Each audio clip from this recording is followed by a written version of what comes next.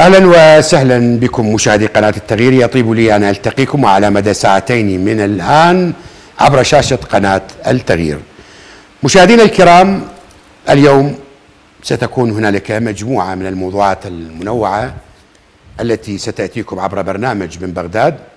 في الساعة الأولى سنناقش مع السيد الناطق أو المتحدث الرسمي لوزارة الخارجية السيد أحمد الصحاف حول الإشكاليات التي حصلت في بعثة الاتحاد الأوروبي ورفع علم قوس قزح الذي قيل أنه يمثل اليوم العالمي المناهض لإرهاب مثيلي الجنس والتحول الجنسي. أيضا إذا بقي عندنا وقت قبل أن نذهب إلى النصف الثاني من الساعة الأولى سنقرأ بعض الشكاوى. وفي النصف الثاني من الساعة الأولى سيرافقني ضيفا السيد جاسم العطية وكيل وزارة الهجرة والمهجرين لأنه نحن أخذناه في حلقات سابقة فونو تحدثنا عن مشاكل كثيرة وعديدة لهذه الشريحة التي تحتاج منا ومن الحكومة الجديدة رعاية استثنائية وخاصة للواقع الذي المر الذي تعيشه هذه الشريحة. فمن باب الالتزام سيرافقنا ضيفا أيضا عبر استوديوهاتنا من بغداد. الساعة الثانية مشاهدينا الكرام الوضع الصحي المقلق وارتفاع الإصابات في بغداد وكربلاء والبصرة ومحافظاتنا الأخرى وفي السليمانية أيضا. سيرافقني ضيفا السيد حسن التميمي وزير الصحة العراقي وسوف نتناقش في هذا الموضوع. بداية مشاهدينا الكرام يعني أنا تصلني آلاف الرسائل يوميا وقلتها في حلقات سابقة وأكرر القول مرة أخرى أنا لا أهمل شيء لكن أنا أحاول أن أضعها حتى أبوبها. اليوم أنا راح أناقش قضية الهجرة والمهجرين واستحقاقاتهم وسلفهم وأتمنى في النصف الساعة الثانية الأخوة الذين لديهم مشاكل مع الهجرة والمهجرين أن يتصلون مع السيد جاسم العطية حتى نصل وإياهم إلى حلول لمشاكلهم. فأتمنى من الأخوة أن يفسحوا المجال لهذا وبقية المشاكل تتوارد تباعا. واحدة من الرسائل التي وصلتني وأشعر بأمانة لأعرضها وهي تحتاج إلى مساعدة إلى طفل من أهالي الديوانية. يا شباب إذا الصور عندكم آه إذا إذا عندكم الصور مرتضى مسلم يعني من أهالي الديوانية هذا الطفل عنده تشوهات في القلب زين فتحة بطينية آه كبيرة. آه هذه التقارير الطبية اللي بعثها زين أبوه يعني تهدل بالصمام سبحانه وتعالى يعني ارتفاع ارتفاع ضغط الشريان تشوهات في البطين آه فتحة بالقلب. هذه التقارير الطبية اللي الآن أعرضها لكم مشاهدي الكرام. خلي لي صورة الطفل يا عمر. خلي لي صورة الطفل. يعني تدرون خلونا كل إحنا أي واحد من عندنا الآن رجال يا شباب آه خلي كل واحد من عندنا الآن يمارس دور الأب ودور الإنسان ويشعر إنه هذا ابنه. وتضطر به الحال أن يعلنا أمام الملأ أمام الملايين كلها ويقول يا أهل الرحم إنه هذا الآن يحتاج إلى عملية ويحتاج إلى مساعدة. وهلا هلا بالمروة واللي يقدر واللي نقدر عليه واللي تقدرون عليه إنه هذا الطفل من أهالي الديوانية. علي مرتضى مسلم عفوا أنا حكيت لأنه الرسالة جايتني باسم الأب مرتضى مسلم لكن الطفل علي مرتضى مسلم. أهالي الخير والمحبين وفي هذا الشهر الفضيل ونحن في العشرة الأواخر من رمضان المبارك ليلة القدر واستشهاد الإمام علي اللي يريد يعاونه الاتصال أنا أبعث التليفون. لا ندعي إحنا نجمع له ونحطها عندنا ونودي لها لا. مباشرة منكم إليه. فإلى كل المخلصين وفي شعبنا الكريم مخلصين كثيرين في هذا الجانب. آه شباب إذا آه نروح إلى وزارة الخارجية إذا الاتصال اتأمن. مع السيد أحمد الصحاف بخصوص هذه القضية. اللي أنا عندي أيضا من كربلاء الأخ المتقاعد عبد الرضا حيدر علي من محافظة كربلاء. يعني أنا ما إيش قد أكو مشاكل بالتقاعد العامة. يعني أنا تقريبا 30 40% من الرسائل اللي تجيني هي تجيني عن قضية التقاعد العامة ومشاكل التقاعد والخدمة والقرارات غير الواضحة. اجى القرار مجلس النواب بلغنا الناس بالقرار راح القرار تعدل القرار التقاعد يطالب بتغيير القرار ماكو مرونه بتغيير القرار والناس كلها وشريحة المتقاعدين شريحة متدمره ومتأذية. عبد الرضا يقول أنا عندي 16 سنة أصبح راتبي 400 سنة أصبح راتبي 400 والنوب أصبح 500 وتم تعييني على شهادة البكالوريوس من كلية الآداب سابقا. وراجعت دائرة التقاعد كربلاء حول احتساب مبلغ الشهادة بنسبة إلا أن دائرة 100 على 10 ما أعرف شنو هاي النسبة أنا بالتقاعد. تقول إلا أن دائرة تقاعد كربلاء أبلغتني بأنه ما تستطيع أن تحسبها لأن علما أن زميلي بالكلية من محافظة ميسان تم احتساب مبلغ الشهادة له من قبل دائرة تقاعد ميسان. علما بأن راتبي أصبح يساوي راتب الذي ليس له شهادة واصبح الخريج والمريج كلهم يشربون بالبريج. أنا ما أدري. يشربون بالبريج يشربون بالدولكة لكنه القضية لما نعلن عبر وسائل الإعلام ومن خلال هذه البر من خلال هذا البرنامج إنه هذا الرجل موجود اسمه وموجود رقم تليفونه والرجل الآن يقارن بواحد مثله. ليش هذا يحتسب؟ ليش هذا ما يحتسب؟ اذا أكو خلل. الخلل أما بالإجراءات التقاعدية التي تتم من قبل الموظفين وقد يتبادر إلى ذهن صاحب القضية عبد الرضا أو يتبادر إلى ذهن المشاهد أو إلى أذهاننا جميعا أن هنالك علاقات ترتبط بهذا وبذاك. فمعاملة الرعية بالسوية لابد أن تكون هنالك معاملة إلى القانون. والقانون يجب أن يطبق ويطبق على الجميع وعلينا جميعا أن نحترم القانون حتى إذا في مرحلة من المراحل اختلفنا مع هذا القانون لأنه لدينا فرصة على أن نصلح المناطق الرخوة في القانون. أما القانون يكون مطاطي نجم يسحبه بصفحه وعبد الله يسحبه بصفحه وأحمد يسحبه بصفحه وسوسن يسحبه بصفحه والقانون يجير لكل من لديه ما لديه. هنا تشكل نقاط اختلاف. وإذا كان ادعاء عبد الرضا صحيح ويثبت أنه هذا اللي بميسان نفي الشهادة هذا احتسب هذا غير احتسب بنفس المواصفات اذا يجب أن نذهب إلى محاسبة الذي تسبب في هذا الخلل لنقطع الطريق على الآخرين الذين يتعاملون مع القانون وفقا لأهوائهم.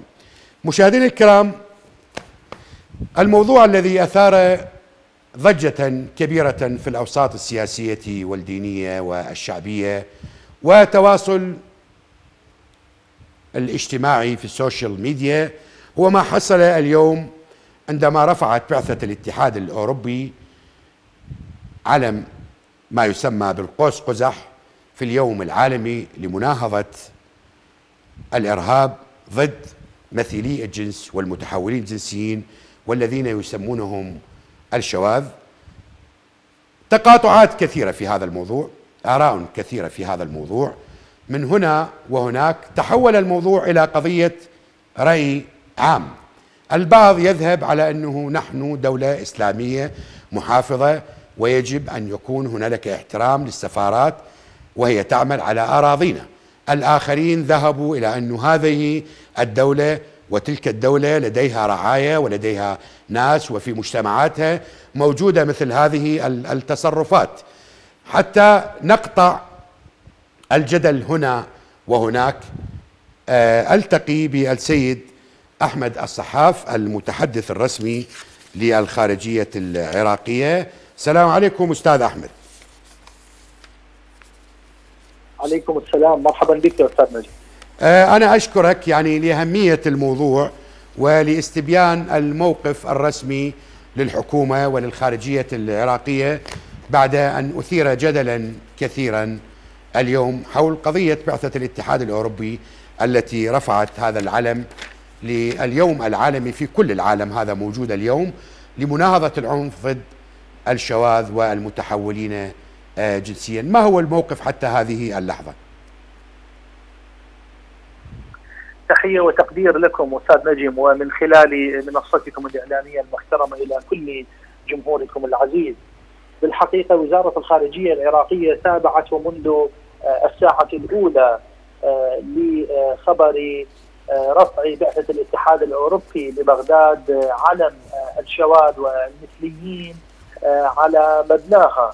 كما قامت بذلك أيضا سفارة المملكة المتحدة بريطانيا وكذلك نعم. السفارة الكندية وبعض السفارات المقيمة لدى بغداد وزارة الخارجية العراقية كما تعلمون تنسق مواقفها مع السفارات والبعثات نعم. وتيسر عملها من جهة بالاستناد إلى اتفاقية فيينا لتنظيم العلاقات نعم. لكن بالوقت ذاته ونفسه أيضا تنظر بعين بالغة الاحترام والتقدير لأبناء شعبنا العزيز كما أن الوزارة كمؤسسة دولة سيادية آه، تعكس أخلاقيات المجتمع العراقي وقيمه البيان الذي صدر عن وزارة الخارجية العراقية نعم. عبرنا بموجبه عن شجب وزارة الخارجية لقيام بعثة الاتحاد الأوروبي وبعثات أجنبية أخرى عاملة في العراق برفع علم المثلية في مقراتها م. لما يمثله من مساس بالمبادئ والقيم الأخلاقية السامية التي تحترمها الديانات السماوية كافة فضلا عن تنافي هذا العمل مع القيم والأخلاق والاعراف الاجتماعية لبلدنا العزيز واستفزازه للمشاعر والمعاني الدينية المقدسة. هذا الأمر بالحقيقة آه، ومن خلاله نذكر كافه البعثات العاملة في العراق نعم بلزوم التقيد بالقوانين المرعية في البلاد ورعاية الأعراف الدبلوماسية والقيم السائدة في المجتمع العراقي آه، وتأكيد مبادئ الالتزام التي وردت في مواد اتفاقية فيينا لتنظيم العلاقات بين الدول. طيب ماذا ماذا يترتب على هذا الذي أنتم الآن تججبونه وتعتبرونه إخلال باحترام القيم والعادات والتقاليد؟ يعني هل تم استدعاء السفراء أم إنكم اكتفيتم فقط بالبيان؟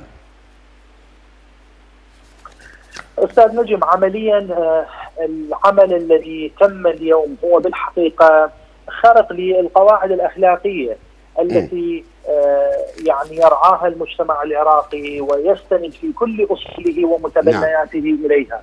نحن بوزارة الخارجية العراقية إذ نشجب هذا العمل. هذا لا يعني أن الوزارة تتوقف عند هذا الحد. وبالتأكيد التنسيق مستمر مع هذه البعثات آه، من جهة التعريف بضرورة الالتزام وبأعلى مستوى باحترام قيم ومبادئ أبناء الشعب العراقي ولفت النظر مجددا إلى المواد الواردة في اتفاقية فيينا لتنظيم العلاقات بين الدول لا سيما في المادة 21 آه، من الاتفاقية والتي تنص على أن البعثات المقيمة في البلد المضيف تلتزم برفع علم دولتها وإذا ما أرادت أن ترفع علم آخر فبالتشاور مع وزارة الخارجية في البلد المضيف.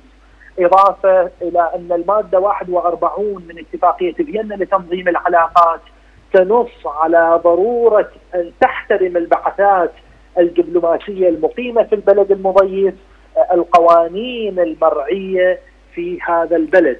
وأذكر أن البعثات الدبلوماسية في أولى أولوياتها أنها تنتهج آه، مبدأ تقويم العلاقات وإشادتها بما يصب آه، بصالح آه، الشعبين ايا كانت تسميتهما البلد نعم. المضيف وما يقابله في البلد الآخر هذا العمل الذي قامت به بعض السفارات والبعثات اليوم لا يأتي بهذا السياق. يعني هنا أنتم لا لا أنتم تستنكرون تجبون لا يأتي ضمن هذا السياق.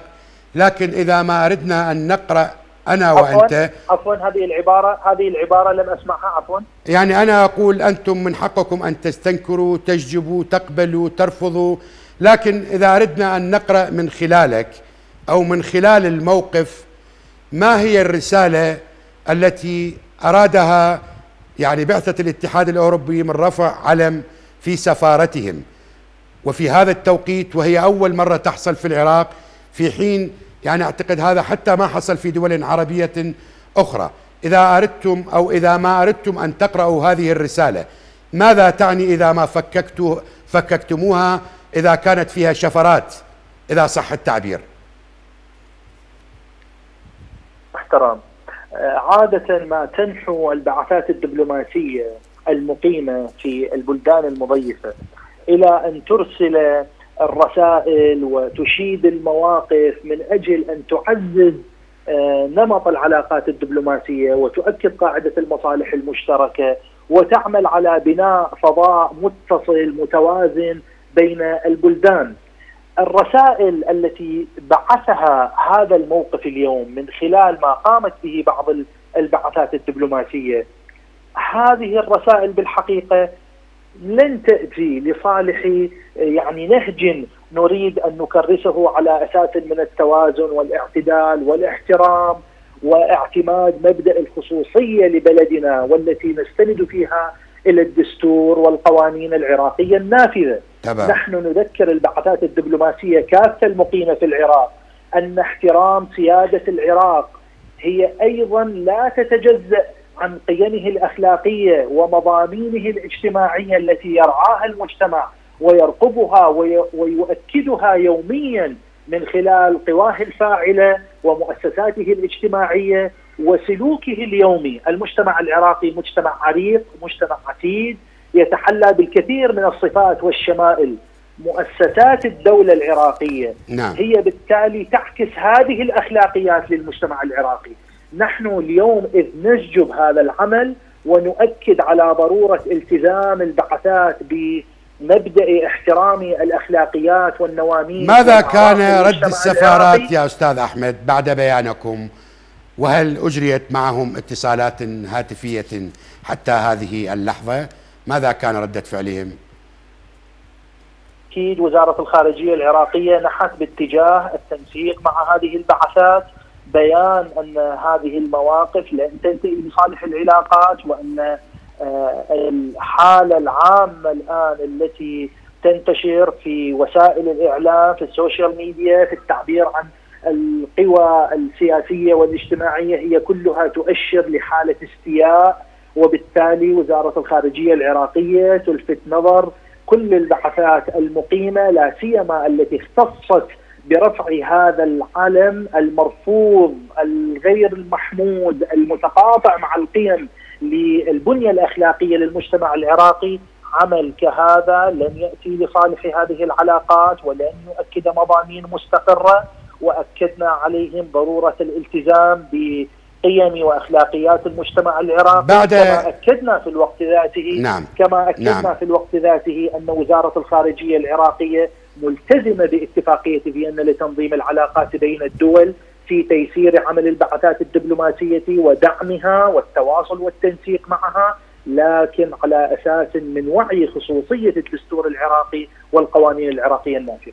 هل ستكتفي الخارجية والحكومة العراقية بالبيان وإلفات نظر هذه السفارات أم إنها ستطالب هذه السفارات بتقديم اعتذار رسمي للشعب العراقي؟ مثل ما أنت تقول إنه هذا قد جاء مساسا بالسيادة العراقية.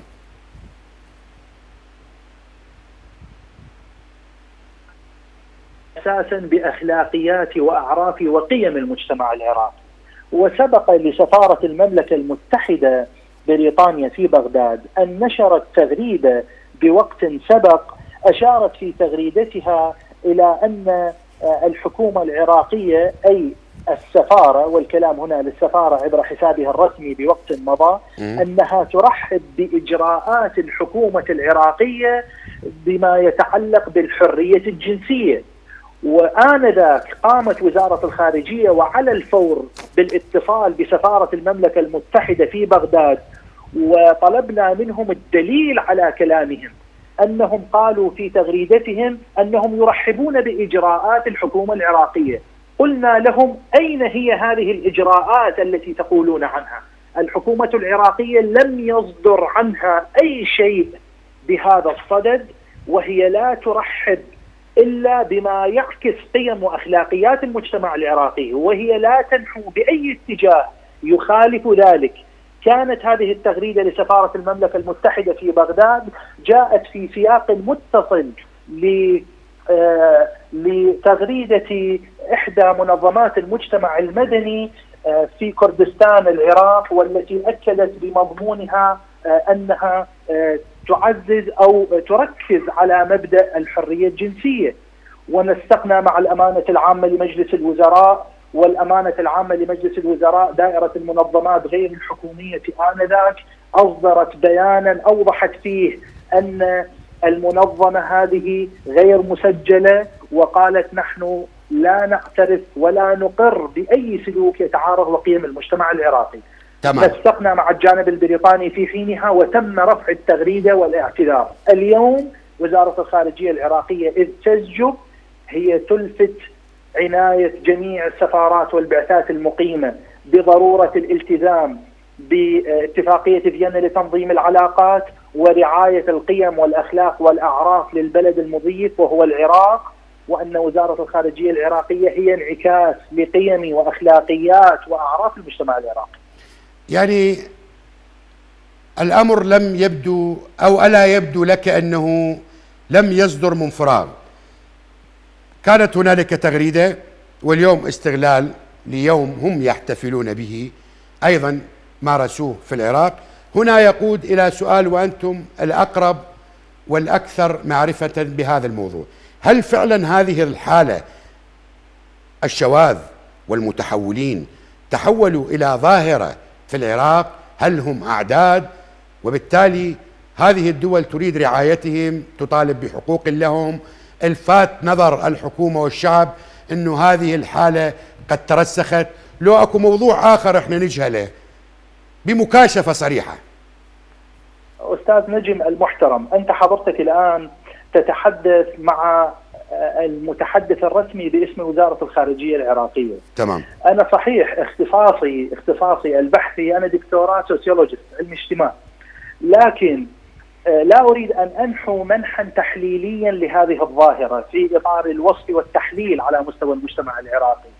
لكن أنا أرتكن في كلامي إلى وجهة النظر الرسمية التي تعد أن مواقفا كهذه مواقف كهذه وسلوكات كهذه لا تنم عن أصالة وأخلاقيات وأعراف المجتمع العراقي فضلا عن تنافيها مع قيم وتعاليم الأديان السماوية.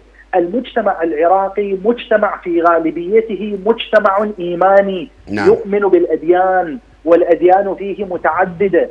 وهذا الإيمان والإسلام هو مصدر التشريع. حالة من الأصالة نعم أو الإسلام مصدر التشريع. في الدستور العراقي الإسلام هو مصدر التشريع. على ذلك. نعم. نص على ذلك الدستور العراقي وخلاصة القول أن المجتمع العراقي مجتمع تتعدد فيه الأديان زي. ربما الدين الإسلامي هو الدين الأكثر شيوعا وانتشارا في آه، صفوف أبناء شعبنا العزيز لكن نعم. الحالة نعم. العامه للبنية الأخلاقية للمجتمع العراقي ترفض قيما كهذه وسلوكات كهذه ومؤسسات الدولة العراقية هي انعكاس لهذه القيم التي ترفض هذه المبادئ وهذه نعم. السلوكات وهذا التعاطي أكرر نحن في بيان وزارة الخارجية العراقية شجبنا هذا الفعل ونسقنا مع هذه السفارات والبعثات المقيمة وأوضحنا لهم ضرورة الالتزام وعدم تكرار كل ما من شأنه أن يعد استفزازا لأخلاقيات ومشاعر ووجدان نعم. أبناء نعم. شعبنا العزيز ولا تزال وزارة الخارجية العراقية تتابع وأؤكد أننا انعكاس لأخلاقيات مجتمعنا العزيز وقيمه ومبادئه. الأستاذ الدكتور أحمد الصحاف المتحدث الرسمي باسم الخارجية العراقية تقبل تحياتي وشكرا على هذا الاتصال. مشاهدينا الكرام كثير من المواقف يعني نحن نقف معكم لنقدمها من خلال المسؤولين عن الذي يجري ما يجري في العراق هنالك مفارقات ومفارقات كبيرة. ما الذي حصل في البنية الاجتماعية؟ وهذا التداعي الذي يحصل هنا ويحصل هناك. في أغلب الأحيان يعني عندنا بالعراق دائما نناقش الأمور من حيث النتائج. ومناقشة الأمور من حيث النتائج لا يعطيك تفسيرا حقيقيا لأصل الظاهرة ولماذا حصلت. لأنه النقاش والمعرفة يجب أن تبدأ من المسببات الحقيقية للتحولات التي تحصل. ما عهدنا في حياتنا ظواهر الانتحار أن تحصل داخل المجتمع العراقي. إلى الحد الذي كنتم في أوج هذه الظاهرة كنتم تلاحظون قاموا يخلون شرك على الجسور ودوريات لأنه ظواهر الانتحار صارت عالية. كبير شاب وليد بنية صغير صارت كلش عالية. العنف الأسري. هذا اللي ذاك اليوم في كربلاء حرق مرته وقتلها. هذا اللي رمى الطفله بنته يعني حياته لأن أمها مطلقة رماها من السطح. ذيك اللي ذاك اليوم قتلت أمها. من أجل عشيقها. وما أريد أكرر. هاي الظواهر اللي تحصل بالمجتمع العراقي الآن يجب أن نفهم من يقف وراءها ليش حصلت؟ ما يراد لها؟ ما نجهد أنفسنا بالبحث. هو سبب هذا الفساد الذي استشرى في البلد بطريقة مفضوحة تجاوز كل القيم. ولما أحكي عن الفساد أتحدث عن الفاسدون ومافيات الفساد التي أرهقت هذا المجتمع إلى هذا الحد. ولذلك الفاسدون في العراق هم الذي أدوا وهم الذي كانوا وما زالوا يتحملون هذه المسؤولية. وهم الشواذ الحقيقيون في هذه المرحلة. ولإسقاطات السياسة ولإسقاطات الفساد هذا الذي يحصل اليوم في العراق. أنا ما عندي مشكلة مع الحريات. أنا مع مبدأ الحريات وأن تمارس طقوسك وحريتك بالقدر الذي لا يلحق الضرر بالآخر. ما عندنا مشكلة بس مشكلتنا الحقيقية هذا الانهيار والتداعي اللي سببته منظومات الفساد الذين هم أشد فتكا وأشد قسوة وأشد ظلما وأشد جورا لما حصل بالمجتمع العراقي. ولا مفهوم الحرية؟ لماذا قتل 700 شهيد في التظاهرات عندما كانوا يمارسون حرياتهم ويطالبون بحقوقهم؟ والقتلة ما زالوا يمارسون حريتهم مثل ما يحلو لهم ويمارسون دورهم. وقتلوا بدم بارد لأننا تأخرنا في الحساب. لسنا نحن لأن المسؤولين تأخروا في الحساب آلت النتائج لهذه المستويات ووصل المجتمع لهذا المستوى. وعندما نتحدث نحن نتحدث إلى الشرفاء الموجودين بأن احذروا هذا الذي يحصل.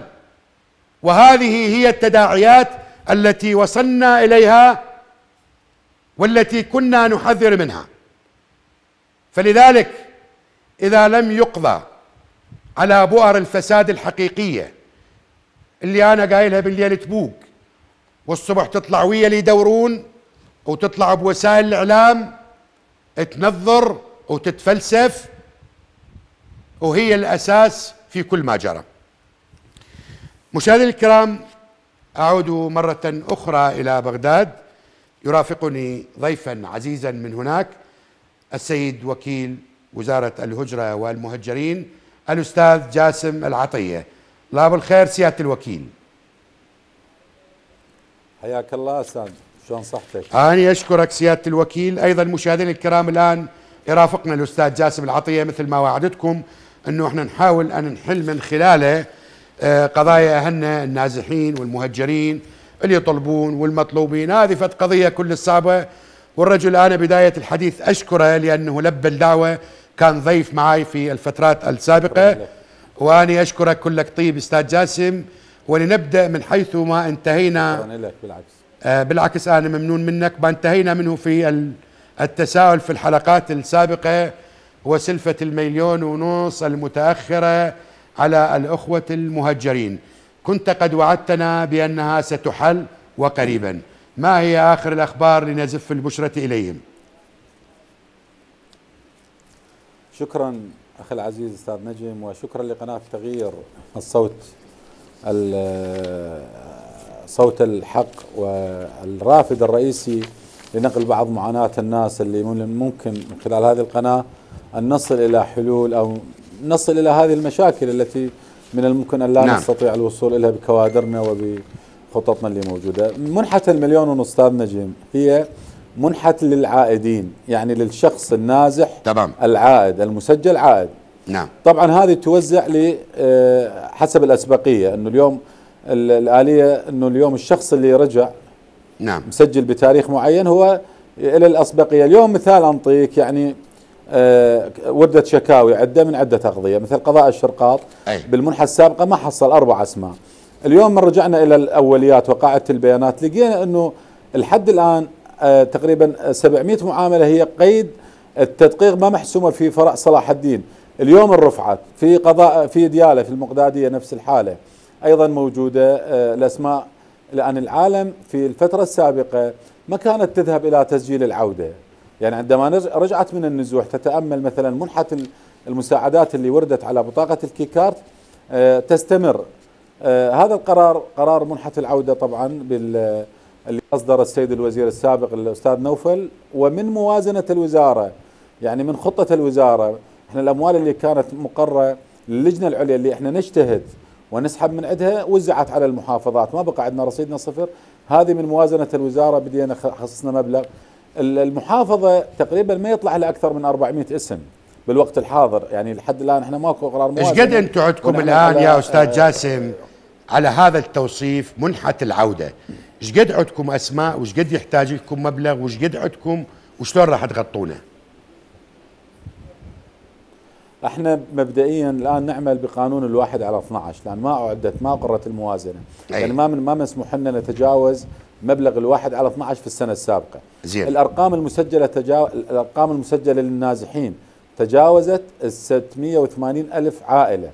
هذول كنازحين الأرقام للعائدين تجاوزت 380 ألف تقريبا 380 390 ألف يعني متفاوتة الأرقام وتتحدث يوميا. آه، بالنسبة للعائدين. أنت احسب يعني إذا أرادت كل العوائل ترجع 700 ألف عائلة وتحتاج إلى إلى المليون ونص تحتاج بقرب التريليون دينار آه، بتغطية هذا الرقم. ولكن إحنا عندنا اليوم أعداد يعني تقريبا أكثر من 200 ألف عائلة موزعين ما بين المخيمات ومدن آه، إقليم كردستان والمحافظات الجنوبية. هؤلاء لحد الآن هم بأعداد النازحين بقاعدة بيانات الوزارة. فهذول نتعامل معهم على أنهم نازحين لحد الآن غير مشمولين بمنحة العودة. الآن منحة العودة مثل ما قلت لك أنا أحث المواطنين النازحين اللي عادوا إلى مناطقهم عبر قناتكم الموقرة أن يسجلون عودة في فروع الوزارة اللي موجودة في المحافظات. هذا آه، يسهل عملية حصوله على المنحة. لا يمكن أن يستلم المواطن أو العائلة التي كانت نازحة منحة المليون ونص ما لم يسجل زين السؤال الآن يعني العوائل التي سجلت العودة واستكملت معاملاتها وأجتكم إلى ديوان الوزارة. بعد إيش قد وياخذون؟ ما ممكن توزيعها مرة واحدة. يعني المحافظة ما تتجاوز ال 400 اسم. يعني 400 اسم لكل محافظة باستثناء نينوى. يعني كون نسبة سكانية أكبر تصل إلى 650 أو 700 اسم. باقي المحافظات الستة 400 إلى 450 وتوزع اليوم صدر يعني وجهنا قرار توزع على جميع الأقضية بالتساوي. يعني نسبة وتناسب على الأعداد السكانية للأقضية. يعني أنتم عندكم ممكن أن توزع في مرة واحدة على جميع النازحين. لا أنتم باليوم إيش قد تقدروا توزعون؟ 400 عائلة في كل محافظة من المحافظات الستة إحنا لو توفرت الأموال نقدر نوزع 4000 نقدر نوزع 10000 لا هو أنا أتحدث بحدود إمكانياتكم الآن. ولم تقر الموازنة حتى أستاذ نجم ما دام لم تقر الموازنة لا نستطيع أن نذهب إلا للعمل بقانون الواحد على 12 ما ممكن أن نتعامل ما ممكن أن نجتهد أكثر. صرفت بالسنة السابقة؟ الطبقة واحد على 12 بالسنة الحالية. إلى حين إقرار الموازنة ممكن نوفر مبالغ أكثر من الموازنة لكون الأعداد النازحين الحمد لله هذه السنة أعداد كبيرة تم إعادتها إلى مدنها. يعني تقريبا بحدود 200 ألف آه، سجلت وزارة الهجرة آه، عوائل عائدة إلى إلى مناطق سكناها. فبالتالي ممكن يتوفر عندنا مبالغ نحولها إلى منحة العودة خصوصا إنه الوزارة يعني الخطة اللي موضوعة تقريبا إلى شهر 10 11 ماشي. ننتظر الموازنة. ننتظر الموازنة. ننتظر الموازنة. وعدنا حكومة جديدة. وفي البرنامج الحكومي للسيد الكاظمي أدرج هذه الفقرة ضمن منهاجه الحكومي. الآن بماذا وعدكم السيد الكاظمي بخصوص العوائل المهجره وإعادتهم. هل ستتضمن بالموازنة؟ هل ستتضمن خارج إطار الموازنة؟ انه هنالك إجراءات أخرى ممكن أن تكون أكثر فعالية من الإجراءات التي اتخذت في الحكومات السابقة. يعني مبدئيا جميع الكوادر التنفيذية خلينا نقول وفي جميع القطاعات الحكومية سواء كانت وزارة الهجرة أو الوزارات الأخرى متفائلة. تفاؤل عالي جدا بحكومة السيد نعم. الكاظمي وأنا واثق إن شاء الله سيشهد هذا العام غلق مخيمات في محافظات بالكامل. هذه الخطة سنبدأ بها إن شاء الله بعد العيد مباشرة. سنبدأ في محافظة صلاح الدين ثم الأنبار بالتنسيق مع الإدارات المحلية لغلق مخيمات بالكامل يعني عودة بعض العوائل حتى وإن كانت لديهم مشاكل أمنية إلى مناطق أخرى آه، إن كانوا هذه العوائل يعني هؤلاء الأفراد من العائلة هم أبرياء لم تتلطخ أيديهم لم يكونوا منتمين إلى عصابات داعش آه، لديهم مشاكل آه، بسبب فرد من أفراد العائلة منتمي ناقشنا هذا الموضوع مع السادة المحافظين متجاوبين جدا بمساعدتنا كوزارة لحل هذه الأزمة. دعم السيد الكاظمي مسبقا لموضوع النازحين في الاجتماعات التي كنا نشترك بها في مجلس الأمن الوطني وبعض الاجتماعات الأخرى وبعض الأمور الأخرى التي حتى للنازحين من خارج العراق دعم لا محدود وهو من الذي من الأشخاص الذين أعتقد يضع هذا الملف بأولوياته وإن شاء الله سنكون آه، أيضا عند حسن ظن الحكومة الحالية بتنفيذ ما وعد السيد رئيس الوزراء في البرنامج الحكومي نعم أستاذ جاسم على الشعب العراقي. آه، يا شباب فتحوا لنا اتصالات مع الناس وخلونا أرقام الهواتف. خلينا نستغل وجود آه، أستاذ جاسم. أنا أتوقف عند قضية إنه إحنا الآن أو أنتم الآن بصدد إغلاق رقم قلته عن المخيمات. عملية ما الذي أخر حتى هذه اللحظة إغلاق هذه المخيمات؟ هل المواطن هو لا يريد أن يعود إلى آه، ديرته؟ الموافقات الأمنية الحاجة المالية شنو اللي أخر غلق هذه المخيمات وإحنا صار لنا سنين من انتهينا من عمليات التحرير؟ يعني أستاذ نجم كل محافظة وكل منطقة لها آه لها آه مشكلة تختلف عن المنطقة الأخرى. يعني في صلاح الدين الموضوع يختلف عن جنوب بغداد. نعم. في جنوب بغداد الموضوع يختلف عن شمال نينوى. يعني كل منطقة لها مشاكل خاصة. في الأنبار تختلف عن صلاح الدين شنو اللي يأخر هاي المشاكل؟ شنو اللي يتاخر آه الغلق؟ في صلاح الدين أبرز هذه المشاكل أكبر سبب أكبر أكبر سبب أو السبب اللي هو الرئيسي تقريبا والعام في عموم المحافظات هي عوائل التي عوائل نسميهم ذوي دواعش. العوائل اللي كانوا نعم. آبائهم أو أخوانهم أو من يعني من العائلة فرد من أفراد العائلة مع داعش. هذا السبب هذا اليوم طبعا بالقانون إحنا ما نقدر نحاسب هذه العائلة ولا بال بال بالأعراف السماوية أيضا يسمح أن يحاسبون إن كانوا أبرياء. يبقى العرف الاجتماعي هذا لحد الآن مؤثر على على هذا الموضوع بعدم عودتهم إلى مناطق سكناهم. الآن بصراحة الأزمة بدأت تتفكك بعض الشيء. كان الممكن اليوم اللي عنده مشكلة في في في مركز الفلوجة مثلا و يعني المنطقة تعرف أنه هو بريء من ابن الإرهابي. آه، أكو سماح له في مكان آخر وفي أطراف المدينة. علما أنه يعني تم نقاش هذا الموضوع مناقشة هذا الموضوع مع السيد آه، رئيس مجلس النواب وكانت عنده وجهة نظر قبل يومين أنه يكونون قريبين ضمن الدائرة الأمنية الواحدة للمنطقة حتى يتابعون. تعرف الفترة أستاذ نجم من 2014 اليوم إحنا 2020 يعني الطفل اللي كان عمره تسع سنوات اليوم أصبح عمره 15 آه، سنة. فبالتالي اليوم إذا كان رابي على وعي معين خطير جدا يحتاج إلى متابعة يحتاج إلى توعية يحتاج إلى آه، تثقيف حقيقي. وأنا بصراحة خلال تجربتي بهذه المرحلة لاحظت إنه الاندماج بالمجتمع هو الحل الأفضل للأبرياء سواء كانوا الأطفال والنساء. إعادتهم إلى المجتمع. مو هي أيضاً هذه قبل الاندماج التي تتحدث عنها يا أستاذ جاسم. نعم. يعني لا أنت تستطيع أن تغض النظر عن دم الضحية ولا يستطيع ذوي الجاني من التعايش بالمجتمع وأن يحميه القانون. وبالتالي عملية الاندماج بالمجتمع تحتاج منكم ومن مجلس النواب إلى إصدار قرارات تلزم الجميع بعملية التعايش وفق ما يحقق العدالة والإنصاف للجميع. يعني هو القانون واضح أستاذ نجم القانون واضح إنه البريء بريء والبريء لا يؤخذ بجريرة المجرم يعني. هذه هذه قضية واضحة. ولكن اليوم مثل ما ذكرت جنابك إنه القلق على هؤلاء العوائل هو من من من الناس المتضررين اللي فاقدين أبنائهم اللي فاقدين آه، ذويهم هذول لهم حق أيضا يعني عوائل الشهداء لهم حق آه، إنه يعني يؤخذ برأيهم أو آه، يعني يكون احترام لمشاعرهم. وبالتالي اليوم هو العملية قلت لك اليوم الجديد بدأ يذوب بعض الشيء في عدة مناطق يعني بدأت أكو نماذج مثلا منطقة في صلاح الدين كانت هناك مشكلة بين منطقة ناحية العلم قضاء العلم ومنطقة البوعجيل تم تسويتها وتم التبرؤ من جميع ال- التبرئة من جميع الإرهابيين في المنطقة وتم إعادة منطقة البوعجيل بأسرع وقت والآن تعيش حياة آمنة وهم واقفين يحملون السلاح آه، يقاتلون يدافعون الوكيل، عن عن مناطقهم. خليني هذا أول- صف مع ال- القوات الأمنية مع أبناء عمومتهم من العشائر الأخرى. كذلك هذا الموضوع نعم. في في الأنبار وفي الموصل موجود.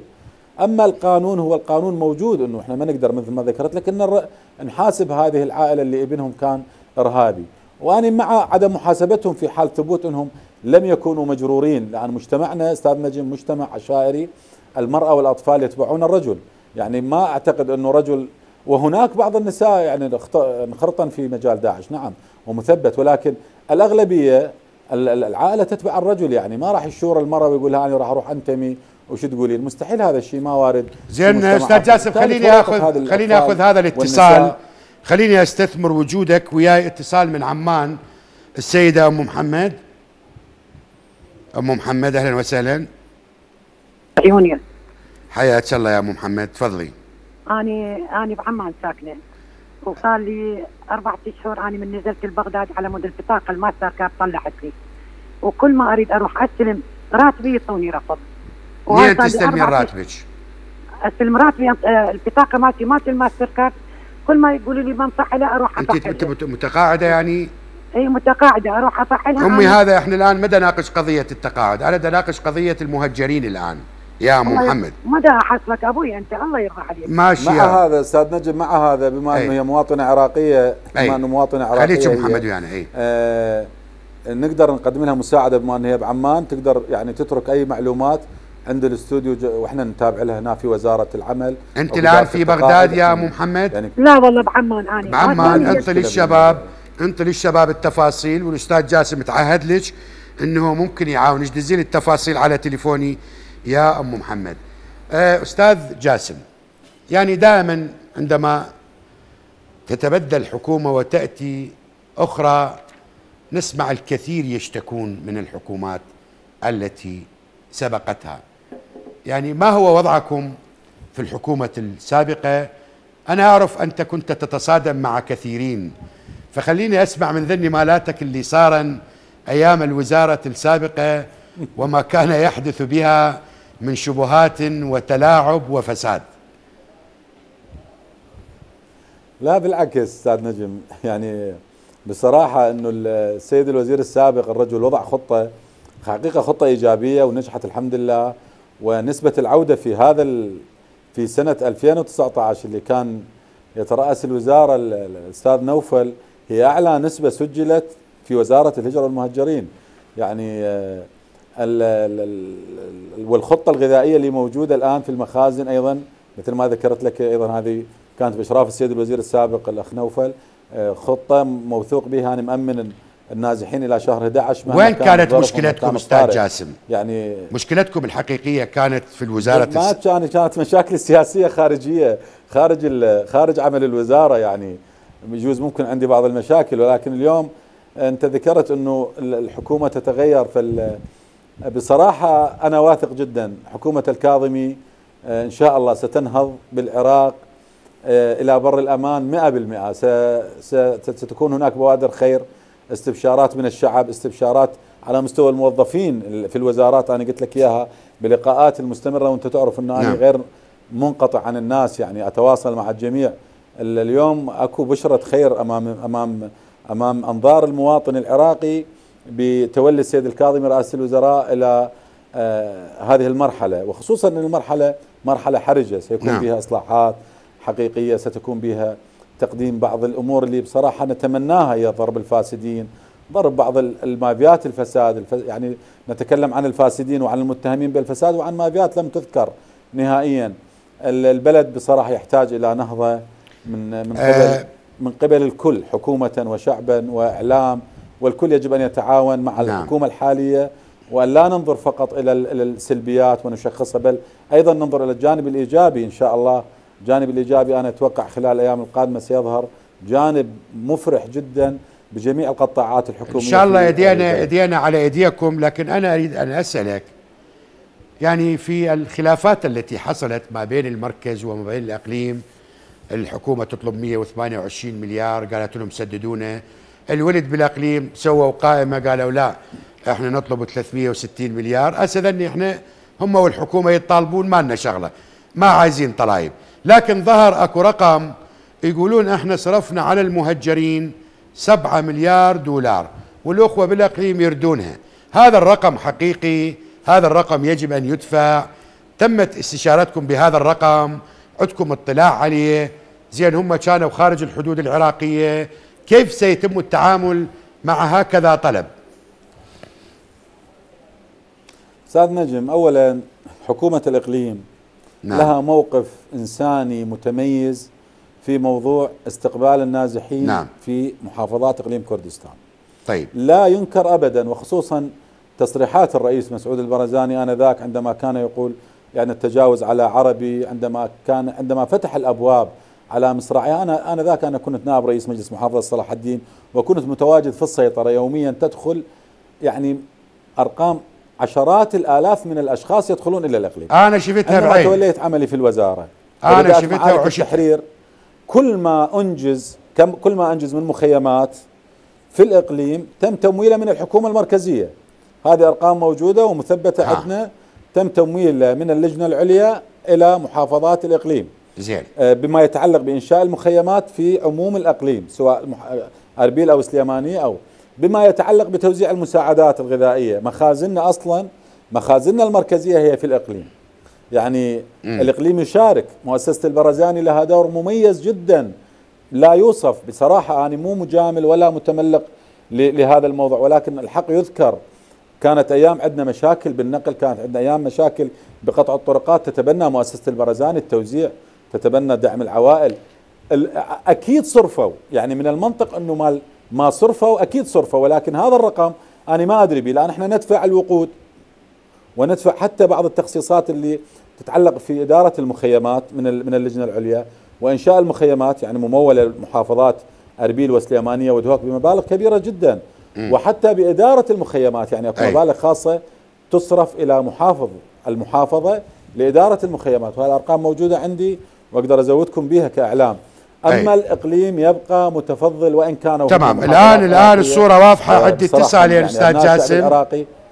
عندي اتصال ولكن يختلف أي. الموضوع عندما يسد باب على النازحين في منطقة معينة ويفتح باب علينا. أن نشكر من فتح ذاك الباب آنذاك. آه منو عندك اتصال يا عمر؟ باقي عندي دقيقتين كل واحد. محمد بن الموصل على السريع. يا محمد انتهى الوقت. إي والله. تفضل محمد. مرحبا أستاذ نجيم. حيا الله محمد. مرحبا أستاذ نجيم. أسمعك عيني تفضل. أستاذ نجيم مرحبا أستاذ نجيم. أسمعك عيني تفضل. آه محمد يقول خبرك يلا لي آه، راح يجي أستاذ جاسم. يلا استفاد من الوقت يا محمد. قل لي أستاذ جاسم يسمعك. نص التلفزيون يا أخي نص التلفزيون. المهجرين مثبتين مليونين ونص مثبتين مليونين ونص أستاذ جاسم هذا الاستاذ الاخ خبرني أكثر من مره هاي شنو موضوع المثبتين المليونين ونص خلي هسه خلي يترك لا، رقم لا، أستاذ نجم. هسه مباشرة راح اتصل بيه بعد البرنامج. آه، أخذ رقمه عمر رقمه حتى أدزة. والأستاذ جاسم. يتصل بيك بعد البرنامج. آخر اتصال كاظم من بغداد. فاضل فاضل. ألو. نعم نعم. يلا يا ألو. فاضل بدقيقة أقل من دقيقة باقي لي دقيقة. نجم رمضان كريم عليك. علينا وعليكم بالتوفيق إن شاء الله. أستاذ نجم أنا من المبصورين السياسيين. وبالقانون مال 2024 على 2005 اخذت كتاب من من وزارة الهجرة والمهجرين مهجر قصرا. أي. وجماعه مال لجنة التحقق ما اعترفوا به اي بالأمانة العامة ما أي. اعترفوا به لجنه ما اعترفت به لأن هو القانون هو يحسم العزيز. صالحي القانون مجرد- يحسم صالحي ترك الوظيفة بسبب إحنا آه، اسمع أستاذ نؤيد- جاسم يا نؤيد فاضل. لك نؤيد لك أنك كنت مهجرا قصرا أو غير قصرا حسب الاولويات اللي موجودة عندك. لجنة التحقق مجرد تجلس في وزارة الهجرة. سيد القاضي يحضر في وزارة الهجرة، أما مو موظف يعني هم مو إدارتنا إدارة الوزارة. يعني القن- القناعة للسيد القاضي آه الذي يطلع على أوراقك بصراحة، إحنا ننطيك عندما تقدم الأوراق الثبوتية لهجرتك خارج العراق آنذاك آه، تكون هجرة نعم. سواء كانت قصرية أو بأسباب سياسية يؤيد من قبل الوزارة أما قناعة السيد القاضي بأوراقك وإفادتك هذه مو مو شغل الوزارة واضح اللجنة جاسم. تجلس في وزارة الهجرة آه، أستاذ الأخ فاضل أيضا عرف الأخ العزيز الأستاذ جاسم العطية وكيل وزارة الهجرة والمهجرين كنت سعيد بالحوار إليك. تقبل تحياتي أستاذ جاسم. شكرا لك أخي نجم. شكرا جزيلا. وشكرا لكم مشاهدي قناة التغيير. فاصل وأعود إلى بغداد واللقاء مع السيد حسن الشمري وزير الصحة العراقية. بعد الفاصل أعود إلى بغداد مرة أخرى.